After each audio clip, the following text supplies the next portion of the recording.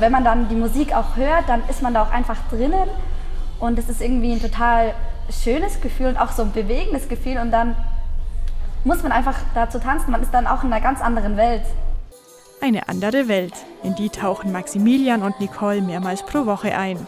Die beiden haben sich ganz dem Tanzen verschrieben. Seit gut zwei Jahren tanzen sie sich als Paar quer durch Samba, Jive, Quickstep, Walzer und Co. Was im Kindesalter als Hobby angefangen hatte, machen die zwei 14-Jährigen mittlerweile professionell. Dazu gehört viel Training, das mit einer normalen Tanzstunde nichts mehr gemeinsam hat. Also vor allem auch auf die Performance, also die Ausstrahlung ist sehr wichtig, dass ich vor allem dann gerade dastehe und nicht dann so drin hänge wie sonst wäre. Und ähm, ja, das ist eigentlich ziemlich wichtig, außer der Technik. Und sonst. Also ich finde auch die Performance ist am wichtigsten, weil die Zuschauer sehen das ja eigentlich am meisten. Die interessiert jetzt nicht, was für einen Schritt ich da jetzt gerade gemacht habe oder ob der jetzt größer war oder kleiner, sondern eher, wie man nur rüberkommt. Und das trainieren wir eigentlich auch am meisten, besonders vor den Turnieren. Trainiert werden Maximilian und Nicole von Beate Fenster vom Tanzsportclub Bad Wörishofen. Sie weiß, worauf es ankommt. Zusammen mit ihrem Mann Erich ist sie selbst im Paartanz deutschlandweit erfolgreich. Bei den Turnieren achten die Richter neben Technik und Ausstrahlung noch auf einiges mehr, unter anderem auf die Kleidung.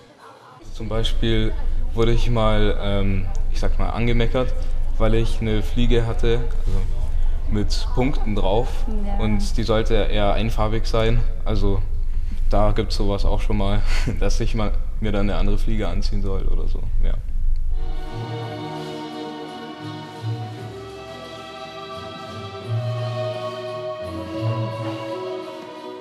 Also ich habe halt immer im Kopf, also wenn ich was Neues lerne, ähm, wie es später aussehen soll. Also ich weiß immer, wie ich es dann später können will. Und ich trainiere das eben so lange, bis ich es für mich so perfekt kann, wie in meiner Vorstellung. Also das finde ich am Tanzen das Allerbeste. Das macht mir Spaß.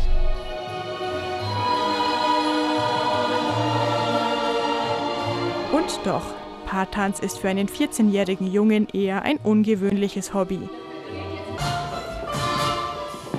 Maximilian aber lässt sich davon nicht beirren. Von Schubladendenken hält er wenig.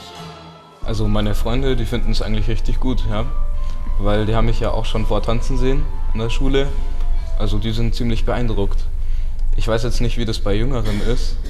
Ähm, ich glaube schon, dass man da gehänselt werden kann, leichtsam.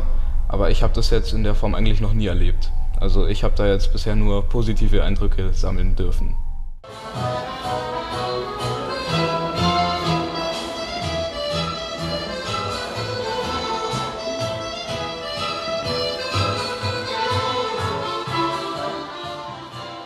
Also wir haben auf jeden Fall einen Hasstanz. Ja.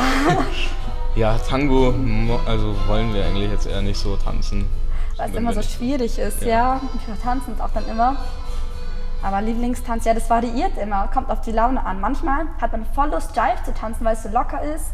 Aber manchmal ist auch so ein langsamer Walzer total schön. Ja, dem kann ich nur zustimmen. Dass die beiden den Tango nicht mögen, ganz ehrlich, als Laie sieht man ihnen das nicht an. Bei ihrem nächsten Turnier immerhin werden sie um den Tango herumkommen. Denn bei der kommenden bayerischen Meisterschaft dreht sich alles um die lateinamerikanischen Tänze.